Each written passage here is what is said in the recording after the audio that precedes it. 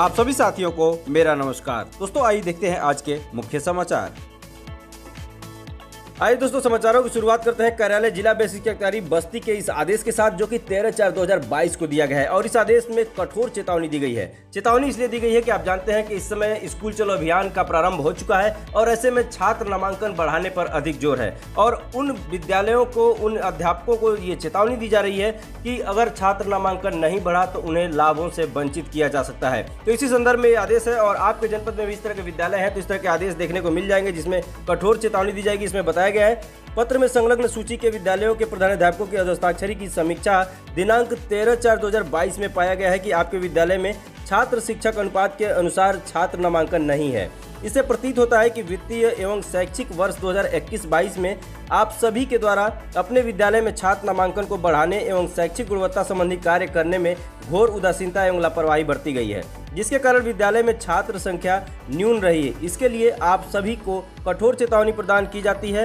एक अंतिम अवसर के रूप में संलग्न सूची के समस्त विद्यालयों के समस्त स्टाफ को निर्देशित किया जाता है कि दिनांक 30 चार 2022 तक अपने अपने विद्यालय में छात्र शिक्षक अनुपात एक संबंधित 30 के अनुपात में छात्र नामांकन कर लें, अन्यथा वित्तीय वर्ष 2022-23 में प्रदत्त होने वाले सभी प्रकार के वित्तीय लाभ से आप सभी को वंचित करते हुए प्रतिकूल प्रविष्टि प्रदान कर सेवा पुस्तिका में अंकित कर दिया जाएगा, जिसका समस्त उत्तरदायित्व तो आप सभी का होगा।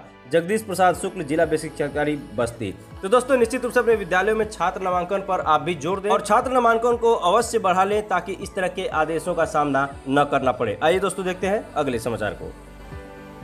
दोस्तों आपने स्क्रीन पे देख पा रहे हैं कार्यालय खंड शिक्षा अधिकारी, शिक्षा क्षेत्र व जनपद बलरामपुर का आदेश है, जो कि 11 चार 2022 को दिया गया है। और दोस्तों, इस आदेश में ये कहा गया है कि जो समायोजित शिक्षा मित्र साथी थे, कोर्ट के आदेश के बाद उनका समायोजन रद्द कर दिया गया था।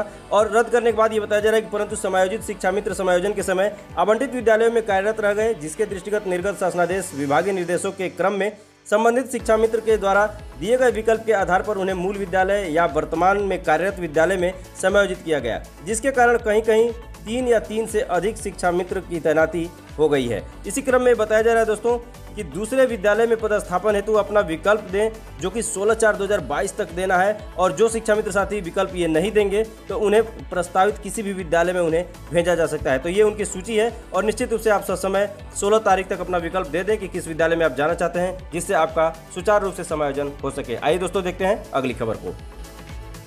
दोस्तों आप स्क्रीन पे देख पा रहे हैं, कार्यालय जिलाधिकारी गोरखपुर का आदेश है जो कि 13 अप्रैल 2022 को दिया गया है। यह आदेश समस्त खंड विकास अधिकारी गोरखपुर और समस्त सहायक विकास पंचायत अधिकारी गोरखपुर के लिए दिया गया है। विषय है विकासखंड स्तर पर हो रहे प्रधानाध्यापकों की बैठक में प्रतिभाग किए जाने के संबंध में। तो दोस्तों, ये बड़ी अच्छी पहल है जिलाधिकारी महोदय की।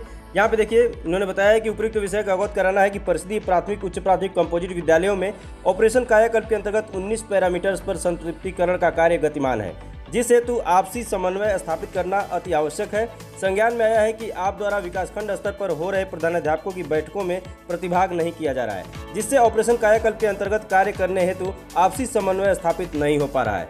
अतः आपको निर्देशित किया जाता है कि परिषदीय प्राथमिक, उच्च प्राथमिक, कंपोजिट विद्यालयों में हो रहे प्रधानाध्यापकों की बैठक में अनिवार्य रूप से प्रतिभाग करना सुनिश्चित करें एवं समस्त विद्यालयों में कार्य कराते हुए शत प्रतिशत संतृप्तिकरण सुनिश्चित कराएँ।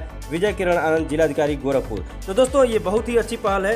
यदि विकासखंड स्तर के अधिकारी अगर आपके बैठकों में शामिल हो जाते हैं तो वहाँ पे सीधे जो 19 पैरामीटर्स के अंतर्गत जो कायाकल्प का काम है, उसको गति मिल पाएगी और प्रत्यक्ष रूप में त्वरित निस्तारण समस्याओं का वहाँ हो सकेगा। तो ये पहल उत्तर प्रदेश के प्रत्येक जनपद में होनी चाहिए। ये एक अनुकरणीय आदेश है। दोस्तों, आइए देखते हैं अगले समाचार को।